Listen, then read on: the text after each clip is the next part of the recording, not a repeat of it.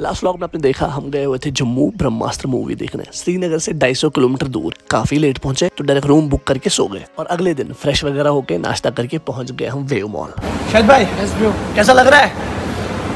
अभी कुछ लग नहीं रहा। तो इतना अच्छा मॉल नहीं दिख रहा? लग रहा। जे एंड के का सबसे बड़ा मॉल है ये। साढ़े बारह का शो बुक कर लिया और थिएटर पूरा भरा हुआ था लिटरली और भाई साहब एस आर की एंट्री आए हाई ये बेस्ट पार्ट था यार मूवी का, सही में। ओवरऑल मूवी ज़बरदस्त थी, एकदम मज़ेदार, सबको अच्छी लगी, मुझे पर्सनली बहुत अच्छी लगी। लव स्टोरी पार्ट थोड़ा सा बोरिंग था, बाकी सब सही था। उसके बाद हम चले गए नहाने, थोड़ा फ्रेश होने स्विमिंग पूल यहाँ भी बड़ा मज़ा आया, एकदम मज़ेदार। और फिर पेट पूजा करके डायरेक्ट निकल पड़े घर की ओर। और रास्ते में एशिया कप का फाइनल भी इंजॉय करा, जो श्रीलंका ने जीता। तो खैर फाइनली हम पहुँच गए घर रात के दो बजे। यस तो फिर क्या रूम में आके सो गए। दैट्स इट सब्सक्राइब करके जाना। ही ही